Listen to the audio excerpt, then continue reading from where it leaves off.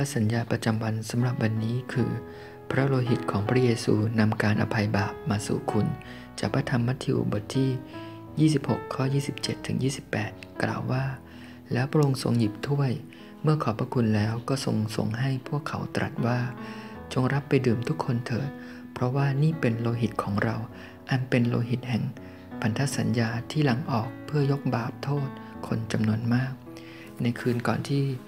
ระองค์จะทรงถูกตรึงกางเขนพระเยซูทรงรับประทานอาหารมื้อปัสกาทรงยกถ้วยน้ำมงุนและตรัสว่านี่เป็นโลหิต แห่งพระสัญญาที่จะนำการอภัยบาปมาให้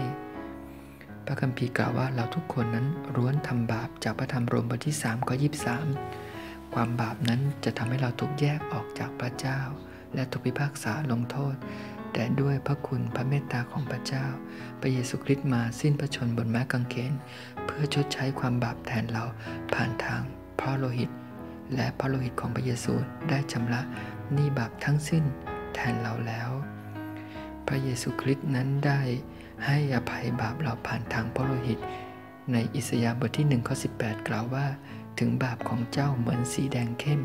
ก็จะขาวอย่างหิมะ และในหนึ่งยอห์นบทที่1ข้อ7กล่าวว่า พระโลหิตของพระเยซูคริสต์พระบุตรของพระองค์